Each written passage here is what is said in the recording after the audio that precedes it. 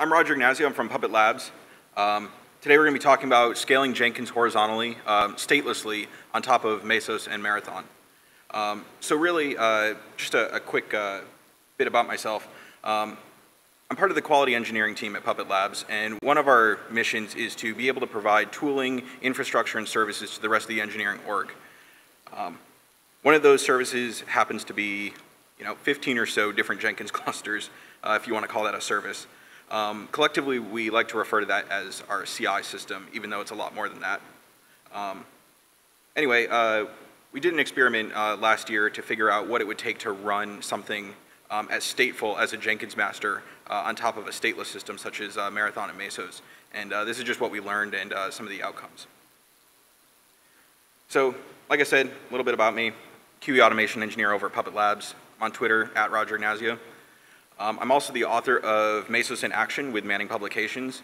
Um, I think we've had about 400 or so copies sold um, in the last couple months. Uh, it's currently in pre-sale, so if you've bought it, thank you. If you haven't, um, you can get 40 something percent off with the code on the screen. Um, so I just want to talk about Puppet Labs testing environment a little bit. Um, conventional methods for scaling Jenkins. you know, typical scenarios. Uh, master per team, master per project, one single master. Um, talk about our, our CI re-engineering project a little bit and uh, some of the motivations and uh, problems that we're trying to solve. Uh, we'll have a short demo. Um, everything's up in a Vagrant environment and uh, you'll be able to grab that code too if you want to play with it. Um, and then we'll have Q&A at the end. Uh, we should have a little bit of time left. Um, so I just want to start off, um, you know, it's been a long day. Thank you for coming. Um, I know a lot of us want to go and, and grab beer uh, myself included. But um, now, just before we get started, um, how many of you are Jenkins users right now? Okay, cool. So everybody in this room. So uh, you probably all know what I mean when, uh, when I say Jenkins is hard to scale. Um, and how many of you are also Mesos users? In production? Okay, so considerably less. All right, cool. So there'll be a, um, I guess I'll, I'll, glance over some of the, the Jenkins intro stuff since uh, you guys probably don't need to know that. But um, just a quick intro to Mesos for, for anyone who's not um, already familiar with it.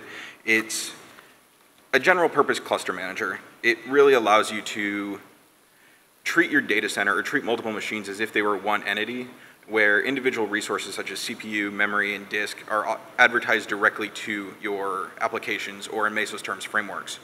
Um, so with Jenkins, this really means that Jenkins either accepts an offer and it launches a new slave, or it rejects the offer and it does nothing.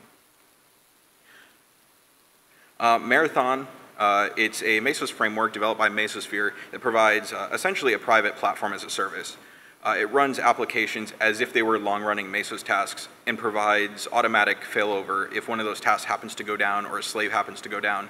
Um, yeah, and it allows you to easily scale to n instances. So if you have two instances of an app running and you suddenly want five, uh, it just launches those as, um, as new tasks. But along with that comes problem of being able to maintain state, since once that task is gone, uh, so is your build history and your job configs. And I don't really need to intro Jenkins, um, but if there's anyone in here who's not familiar with Jenkins, um, it just allows you to continually build software projects and test software projects. Um, and it has a huge user community, over a thousand different plugins, and uh, some of those plugins we're going to talk about um, in this talk and, and, reuse them. So I just want to, um, you know, before we get into it, I want to talk about the scale that we're, we're testing software at Puppet, um, just to give you an idea of uh, some of the challenges we face. So we're launching about 4,000 to 5,000 builds a day across 75 different combinations of platforms, uh, releases, and architectures. So that's everything from uh, RHEL and Ubuntu to Windows and OS 10 and Solaris, and uh, if there are any AIX users in here, which probably not. Um, we even support AIX um, with Puppet Enterprise. Um, all of this testing is driven by 15 different statically partitioned Jenkins clusters um, with some mix of Jenkins being based on access control, team, project, function, uh, somebody wanted a Jenkins for testing, so we gave them one. Uh, it, it's really just a, a sprawling static infrastructure. Um, but what that comes down to is about 1,300 executors um, across around 240 build machines. Um, We've also got some custom tooling. So I said that all of this is driven by Jenkins. Um, we have an automated testing framework called Beaker, um, multi-cloud, multi-platform. It essentially allows devs and QAs to write their tests once and run them on any platform, on any cloud provider, uh, without needing to know about the underlying infrastructure. Uh, we also have a, a, service called VM Pooler. Um, because our customers are running Puppet on, you know, to build containers and to run it in VMs or run it on bare metal, uh, really we need to have unmodified kernels. We can't be doing uh, any of our integration testing in containers um, or in a, uh, you know, a paravirtual setting. So VM Pooler is sort of a pooling service uh, to our vSphere backend, and it allows us to have multiple different platforms of VMs just ready for checkout. So instead of waiting for our testing to provision, um, you know, 300 VMs uh, to start running uh, upgrade test scenarios, we can check those out immediately and then just have VM Pooler uh, clone those back sometime in the future. So I think, um, let's see. Last month, we cloned about 120,000 disposable VMs, um, which saved us about 175 compute days of time during our test pre-suites. Um, our configuration management's a little haphazard. Um, most of our job configs and scripts are still stored in Jenkins. Uh, sometimes the Jenkins jobs call scripts that are in the individual project repos, and then we even have a monolithic job configs repo that we use to configure our uh, Jenkins instances uh, via cron. Um, all of our infrastructure is managed by Puppet. I'm sure that's not really a surprise, um, or at least most of it. We don't manage the Jenkins configs per se, but we at least bring up the service. Um, and then as you could imagine, our reporting's uh, a little bit uh, sketchy too. We've got 15 different Jenkins UIs, which means we've got 15 different data stores, which means we've got 15 different APIs to hit if we want real-time status. Uh, so we've written a couple tools uh, called Clockin and Wayland to try to abstract some of that. And Clocken really gives us uh, historical run data and infrastructure metrics about all of our different Jenkins clusters. And Wayland allows real-time querying of all of our Jenkins masters on a per team, per project function, um, just hitting those APIs and bubbling the failures up to the top. Uh, just because we have certain projects, certain teams that would otherwise have to hit three, four, five different Jenkins instances to figure out if their software is actually shippable or not. Um, so I just wanted to touch on, you know, before we get into, you know, sort of the, the re-architecture stuff that, that uh, I'm pretty excited about, um, conventional methods for scaling Jenkins. Um, I mean, like I had alluded to, we've got two common deployments. We've got a single huge Jenkins with a single resource pool with all of your jobs.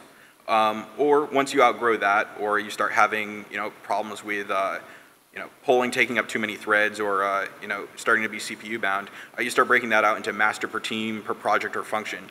Um, the, the, problem with breaking that out is it starts leading to static partitioning if you're not careful. Um, and Jenkins doesn't really provide a, a great way to avoid that, um, except with various Jenkins plugins.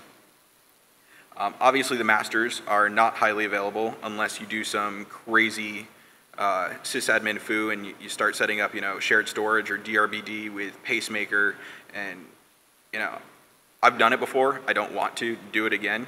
Um, you know, it, it's especially complex when you're talking about having 15, 16 different Jenkins masters, and now you have 15 or 16 different pairs of Jenkins masters, and you're having to worry about failover in all these different places, and you still have your static partitioning problem. It, you haven't actually solved resource utilization.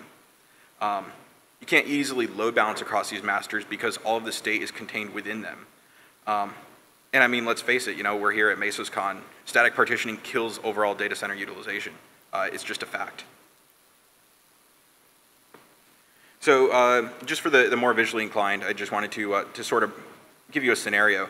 Um, so we've got an open source Jenkins. We have multiple uh, Jenkins that uh, make up Puppet Enterprise testing and, uh, and the build process. And then you know, 13 or 14 later, we've got various different Jenkins for projects. So in this particular case, our open source Jenkins is about 90% utilized, um, so it's not too bad. Um, although we're probably pretty close to ship date on uh, Puppet Enterprise, we've got 140% utilization. You know, we've got 40 builds sitting in queue. Developers are waiting to see if we can actually release the product or not. Um, and meanwhile, you know, 10, 11, you know, Project X Jenkins here is sitting at 0% utilized. Like totally idle. It, all of its uh, you know, CPU resources are just sitting there wasted. So I mean, what can we do about it? Well, there are various plugins for Jenkins to be able to support global resource pools. You know, we've got uh, things like Gearman, we've got EC2 plugins, vSphere, Mesos. Um, you know, I, I, think there's a Kubernetes plugin for, uh, for Jenkins too, but I'm not entirely sure um, how mature that is. Um, I was just looking into it last week. But, um, I mean, it, the, problem too is, uh, you know, if you've got Jenkins slave labels on any of this stuff, you, you're you've got static partitioning inception where you're partitioning your slaves after you've already partitioned them uh, on the infrastructure. Um, so let's take a look at the Mesos plugin real quick. So we've got the same Jenkins masters. They're still monoliths. They're still maintaining state. We have the same reporting problems. We have the same config problems. But they can talk to a Jenkins, or they can talk to a Mesos master. They can pull all of the resources from a single resource pool as opposed to only being given the resources that they were assigned um, and really improve utilization. So, you know, Project X Jenkins that was sitting 0% idle before, you know, that's free CPU, that's free memory that can be used for the Puppet Enterprise testing. So, single pool of resources, but like I said, we still have the same problem. Multiple URLs, multiple, multiple sources of truth. So uh, one of the things we did um, was we started this uh, sort of CI reengineering project um, to kind of figure out, um, you know, talking to dev, talking to QA, QE, managers, you know, what would their ideal system look like? You know, what is the data that we can provide to help them make better informed decisions so they can predict when we're actually going to be able to ship or if we're putting too many features in the product to be able to ship it in, you know, six or eight weeks. Um, maybe more importantly, it's how we can make development workflows a little bit better. Um, you know, so what we did was um, we started off with some user stories uh, during these interviews.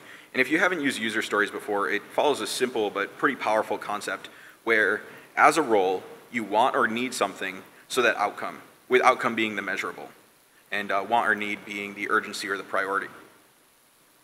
So just to run through a few of um, you know, the real user stories that we got internally at Puppet, um, as a developer, I want tests to be run against pull requests so that I have confidence in the code about to be merged. Like, yeah, as a developer, I don't want to worry about the underlying infrastructure of the CI system. I mean, they're devs, they're not sysadmins. So we have entire teams for that. As a CI consumer, I want a central location to view all CI activity so I don't have to visit multiple URLs. Um, you know, if you can put the status of a build in one location and be able to bubble that up to the right people at the right level, you know, why would you want them to log into three or four different Jenkinses? Um, but maybe most importantly was one that we came out of in our own team. And as a QE, I want slaves to be on demand so that resources are used more efficiently. So we've got a few motivations here. Um, I mean, obviously, we've got some friction in the dev workflows. And when I say friction, uh, really it's, you know, I was talking about some of this uh, monolithic uh, job configs repositories or individual uh, pipeline configurations on a Jenkins. And those don't necessarily map well with topic branches or if testing needs to be changed between topic branches. So if you need to set up a separate pipeline for you know, a new branch based on a release, uh, really you have to do a bunch of copying and pasting. You have to have somebody make that change on a Jenkins or make it in a job configs repo. Um, meanwhile, devs are you know, branching and merging all day. Um, why can't we follow their workflow? Why can't we work you know, better with them and for their needs. Um, perhaps most importantly, uh, we really wanted an event-driven system. Uh, you know, how many people in here have seen the, the warning in the Jenkins management UI that says, uh, you know, you have too many Git polling jobs, you're polling too fast, and you've run out of threads? All right, no one? Okay, well, we have that problem probably on half of our infrastructure, um, just because we want things like, you know, as close to on commit as possible, uh, and yet we're just overrunning it with the number of jobs that we have. We want to improve the reporting and user experience. You know, we want to be able to give the right people the right information when they need it, as opposed to, you know, somebody ask a question and it take us, you know, two hours to, to actually give them an answer because we have to dig into so many different systems. Um, but maybe most importantly, you know, we need to scale to meet the growing demand of the org. Um, statically partitioned clusters, you know, all managed with Puppet on individual VMs doesn't really work.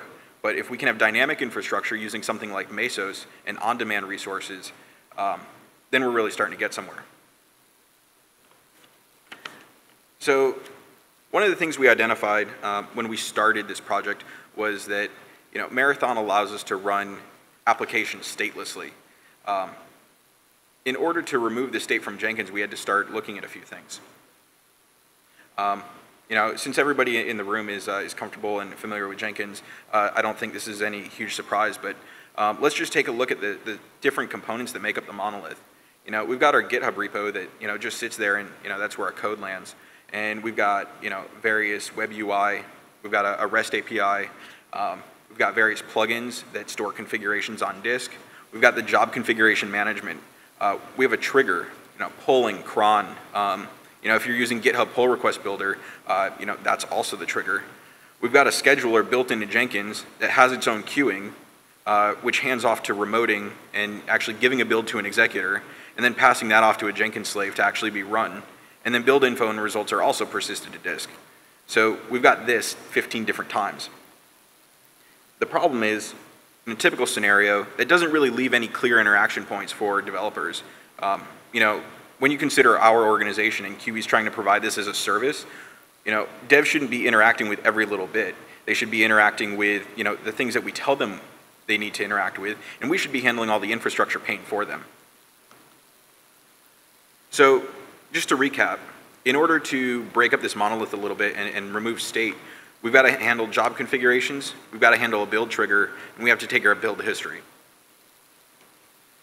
So this is a um, this is an example architecture that we came up with where the job configs are actually stored alongside the project repositories.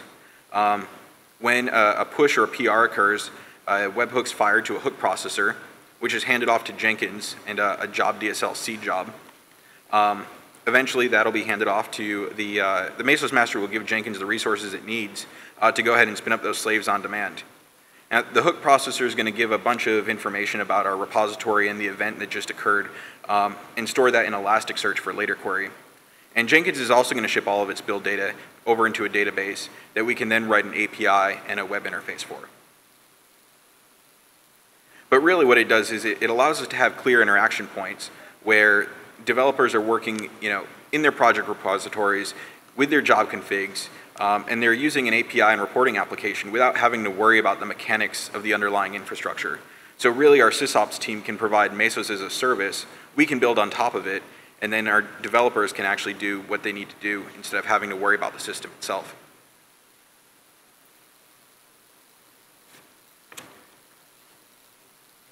So, like I had mentioned earlier, Marathon allows us to scale applications out horizontally and just say we want n instances of this app. Um, you know, it, it, allows us to be able to deploy updates to the application, make configuration changes and plugins uh, in a very uh, standardized and systemic way. Um, but really, it might even give us continuous deployment of our own CI system, um, you know, with its own automated testing, which you just don't really get with static infrastructure. Um, you know, and, you know, I'm talking about scaling Jenkins masters horizontally and, you know, having them be stateless. And you might be wondering yourself, you know, why would we do that? And if you get back to the single monolithic Jenkins master that has all of the jobs and it has one resource pool, if that goes down, 100% of your jobs can't run. You know, 100% of your in-flight jobs are dead in the water. But if we scale this out to five stateless masters on Marathon, um, it, that number goes down to 20% for one failure. Um, so this is just a quick graphic of what it looks like to run Jenkins on Marathon. So Marathon's registered as a Mesos framework. Jenkins is running on Marathon as any other web service. It's registered with Mesos as a Mesos framework, and then it brings up these slaves on demand um, using the Jenkins uh, slave.jar. And then all of that data is shipped into um, Redis and ELK, which in this particular case is not running on Mesos, but there's no real reason that it, it couldn't. Um, and just to, uh, to give you an idea of what's actually going on with the, uh, the hook processor here, um, the job config is ending up on the uh, Jenkins master as a seed job. Um, pretty much the webhook hands off to the webhook listener, um, which queries Marathon for a healthy Jenkins instance. So really, it takes a look at the number of instances that are running, it picks a task, it tries to ensure that the Jenkins master is healthy, that it's actually returning a version. Um, it creates that seed job, which creates multiple uh, dynamic jobs to actually configure our pipeline. Um, and then all that shipped into an external data store. So really what we have is ephemeral pipelines based on the point in time and the branch for our individual project. So it allows QE to be able to branch off a, a, project repo, make changes to CI, and test it out in a topic branch before merging it back into mainline. Um, so with that hook processor, you know, I, I, just kind of said that it goes into a data store and, you know, it's a little bit of magic. But uh, really what we have is for every event, every webhook that comes in, uh, we generate a UUID. And that's shoved into Redis based on the project repo um, and the namespace. So, you know, let's say Puppet Labs Puppet. Um, and we just maintain that list to give us the arbitrary build numbers or a, a list of recent builds. Um, all of the webhooks and build data are then shipped uh, via Logstash into Elasticsearch so that we can query them a little bit later. Um, we can then query and visualize our system activity in Kibana, um, things like being able to search for number of successes and plotting that out over time, or number of failures. You know, do we experience more failures around a, release cycle? Why is that? Um, but really, with all of this stuff being in its own database and queryable, um, you know, arguably outside of you know Jenkins' uh, file system-based approach, uh, why can't we write our own reporting app? So this is just something that I hacked together, um, just sort of for the purposes of this demo. Um, but we're able to just we've got all this information and we can just present it in a really user-friendly way. So in this particular case, it looks a little bit like Travis CI, but uh, yeah, just a little bit of Twitter bootstrap there, and uh, we've got a pretty nice looking UI. So I just want to jump into a, a demo quick, um, just sort of showing all of this stuff in, in action and, uh, and really the power of it. Um, I went ahead and, and pre-recorded this quick. Um, wasn't really sure what the Wi-Fi was going to do here, and I figured a bunch of you guys would probably want to get out of here and, uh, and grab a beer and, and not sit around and watch RSpec run. Um, so let's go ahead and walk through this. We've got a bunch of applications running on Marathon and uh, on Mesos. Um, Jenkins, the hook processor, uh, ngrok for actually handling the hooks, um, and then this experimental reporting app. So we've already got this, uh, this hook created uh, on the GitHub repo, and it just replied uh, POM.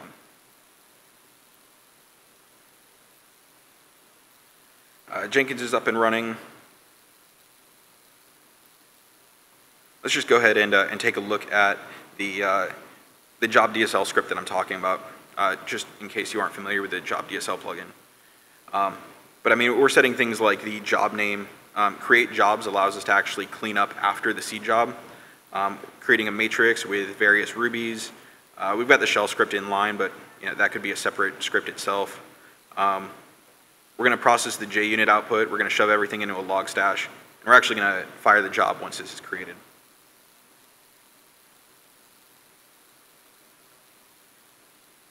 And this was already committed, but I'm just going to go ahead and, uh, and bump it anyway.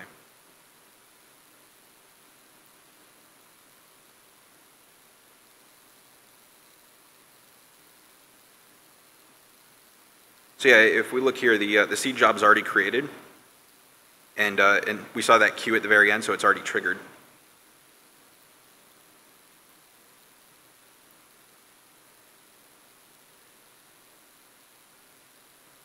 So we've already got a, um, so the job's already in queue to go ahead and process that job DSL script. So Jenkins has spun up a, a dynamic Mesos slave, a dynamic Jenkins slave on Mesos. And it's just going to go ahead and process that. It usually takes about a minute or so, but we're going to skip past it. If we refresh the page here, we'll actually see that we've got this one new job. Um, you know, not a very complex example, but it's an example nonetheless. Um, there's the three rubies that, that we said in our multi-configuration project. If we come back here, uh, we'll actually see that um, we're going to get some builds in queue in just a second. So the Ruby 2.0 build is already started, and 193 and 215 are sitting in queue. And really what's happening is uh, the Mesos master is going to offer up the, uh, the resources to Jenkins, and it's going to spin up some more of these, uh, these dynamic slaves. So we're running another job in a container, and, uh, and that 193 job will, will kick off shortly, and uh, it'll also be running on, um, in a container on one of these dynamic slaves. You can have multiple executors per slave. I just decided to limit it to one just to sort of illustrate the whole uh, dynamic slave concept.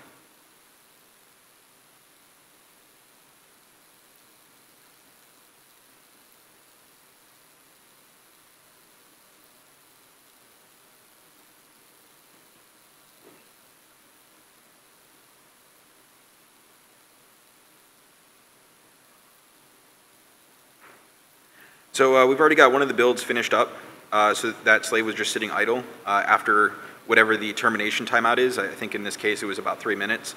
Um, we went ahead and killed that off. So those resources are now um, freed up for another framework or another Jenkins master or uh, whatever other workloads are running on your Mesos cluster to go ahead and use. And uh, you know, just in the Mesos UI, we can see that that's already been killed off, and we've still got two containers running.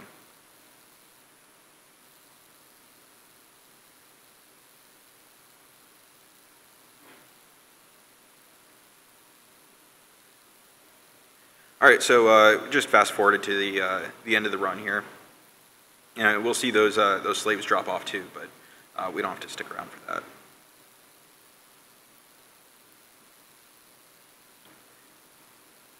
So if we switch over to Kibana, um, Kibana is a, a, nice front end for Elasticsearch. Allows us to, uh, to write some queries um, using uh, Lucene. So if we just filter everything by timestamp,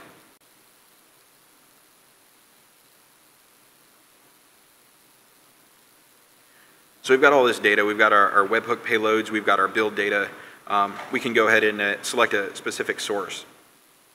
So in this case, uh, let's select the, the source. Uh, the name of the, the hook processor was just Jenkins Hookshot, not very inventive.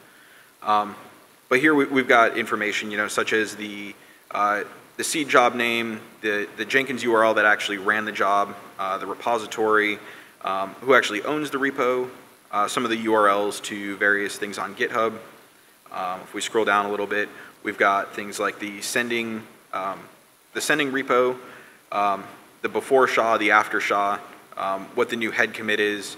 Um, we've got our commit messages, commit subjects, um, who actually authored and who committed uh, this particular SHA. And if we switch this back to Jenkins, uh, we'll have our build data here.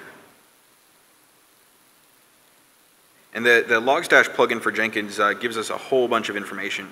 Um, project success, what the, the access is, um, you know, the full display name with the UUID that we gave it, um, you know, the build variables, uh, just like, you know, Ruby 193.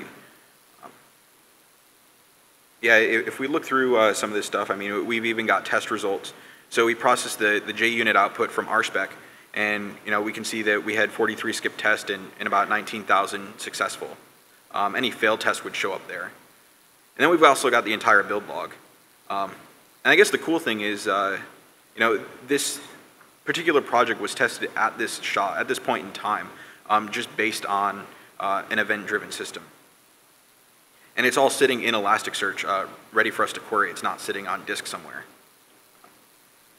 And then this is just a, that quick little reporting app. It, it doesn't do a whole lot, but it's uh, taking the UUIDs and the projects in Redis and the recent builds and um, taking some of the data in Elasticsearch, uh, really using Redis as the lookup service uh, to go ahead and display a little bit about our, uh, our build here.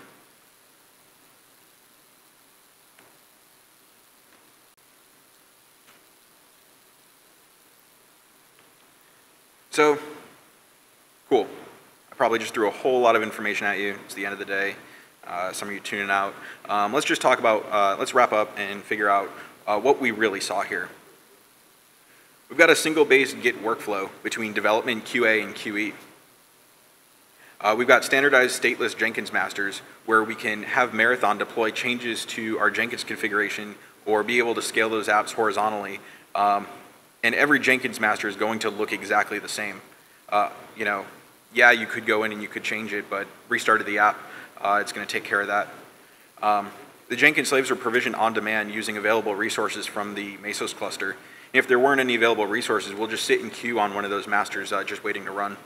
Um, but as a bonus, maybe, uh, you know, we were talking about CI, but we also got a private platform out of it, Marathon. And, uh, and that's interesting for, for a couple things.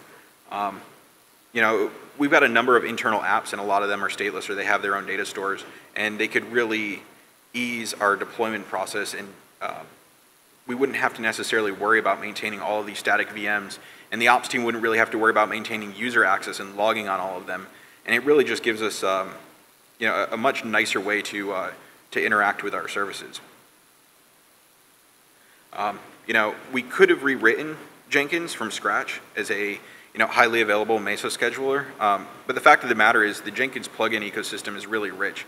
You know, we don't want to reinvent too many wheels. You know, if we can already use certain plugins for HipChat notifications or Slack notifications or you know, shipping all this stuff to Logstash or using the Job DSL plugin to be able to put our configs in version control, uh, why would you reinvent all of that?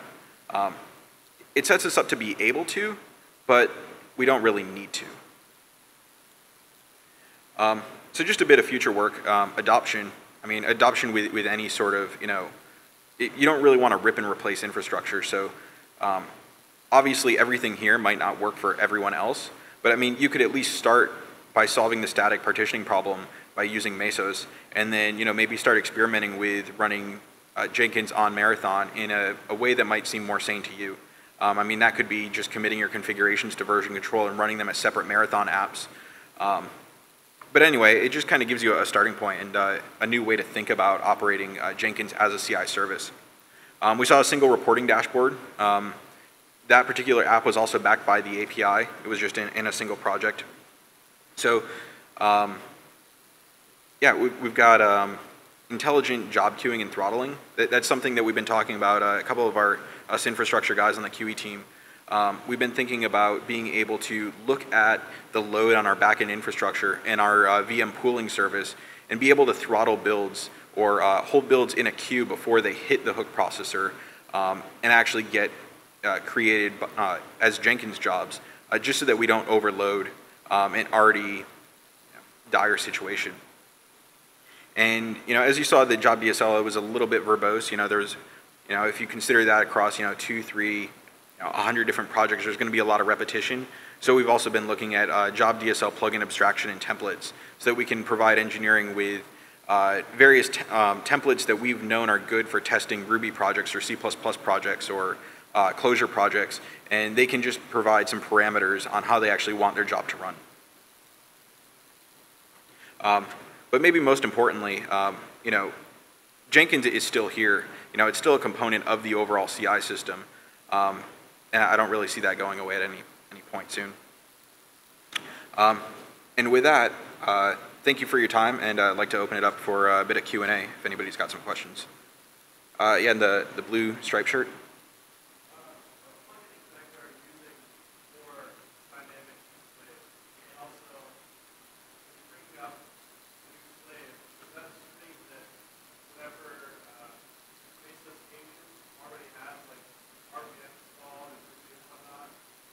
Yeah, so the question was what plugin in Jenkins were we using to bring up the dynamic slaves, and if the um, slaves already had Ruby and RVM and everything installed, right? Yeah, so um, we're using the Mesos plugin, um, which I believe came out of Twitter, and uh, um, Vinod and uh, his team has been maintaining. And as far as uh, Ruby and RVM, um, if you're using C groups, then yeah, you'll want those dependencies installed on your Mesos slaves. Um, we happen to have a dedicated Mesos cluster for build infrastructure, um, but if you were to run it in a Docker container, you could bundle all of it up that way too, um, and be able to have, you know, it might be a little bit nicer to be able to manage your Ruby runtimes in the Docker container as opposed to, you know, running it on a general purpose slave, especially if uh, the sysops team is providing it as a service to you and perhaps other customers. Uh, yeah. Yeah. Yeah, so the question was the, uh, the idle termination timeout for the, the Jenkins slaves, um, and if that was through Mesos. Uh, it's a feature that's built into the scheduler um, for Jenkins um, in that Mesos plugin. So it'll just look and see, you know, if a, a job hasn't run on this particular slave with this ID, um, it'll go ahead and terminate that task. So that's why we saw in the, the Mesos UI earlier that the task was killed. It wasn't just successful because the scheduler actually killed it off. Um, it's just like a long running, uh, well, I guess a short running Jenkins slave.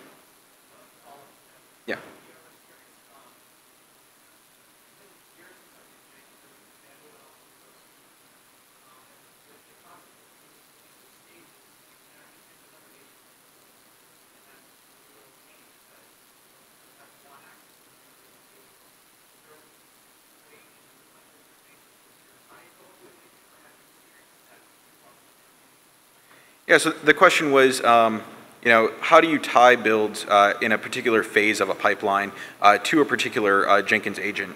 And um, one of the things that you can do with the Mesos plugin and the global config for Jenkins is you can define multiple uh, different kinds of Mesos slaves. um, with their own slave labels, or I'm sorry, Jenkins slaves um, with their own slave labels. And each one of those could have uh, different requirements, um, you know, different amount of CPU, different amount of memory, um, and it's just going to wait for those resources to be offered up. Um, so it's pretty flexible. And then uh, along with the, the, various different labels, uh, they could be different Docker containers as well.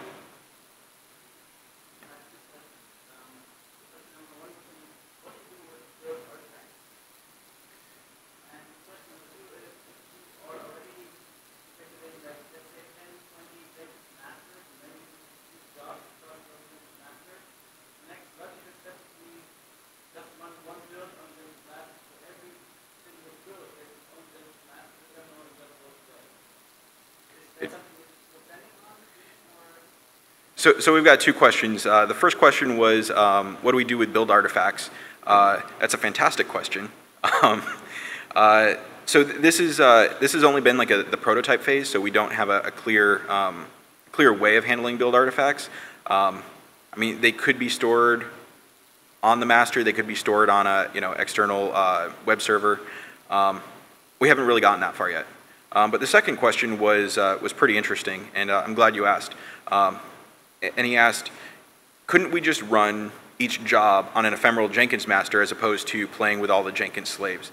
Um, and the answer is yes, absolutely. Um, that's actually what we had started with, and we thought that it made a lot more sense as far as you know the demo and as far as uh, trying to get people to adopt it, um, to be able to show the dynamic slaves, and um, really it applies to more um, of the scaling use cases. But yeah, there's really no reason that you couldn't do that. And, and really it, gets rid of a lot of the overhead. Um, but that's an entirely new concept from the new concept that I just talked about. So uh, it was a little bit of a harder sell. Yeah, in the back.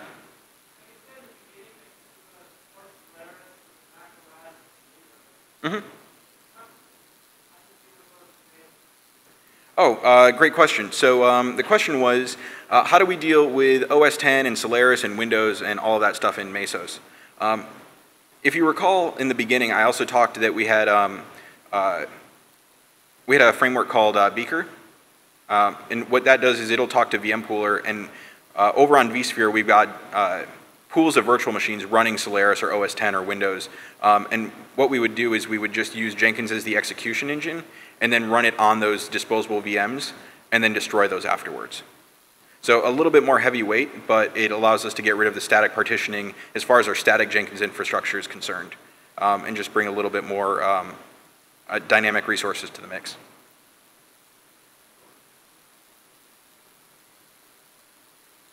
Oh, yes. Um,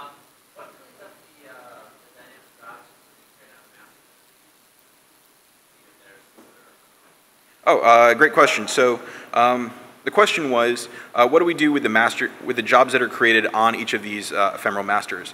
Um, yeah, we could leave them there. They're never going to do anything unless uh, we configure, you know, something like git polling or um, or cron, which uh, we specifically don't do. Um, but if you notice, in early on in the job DSL script, I had this boolean called create jobs, and I didn't really explain it too much.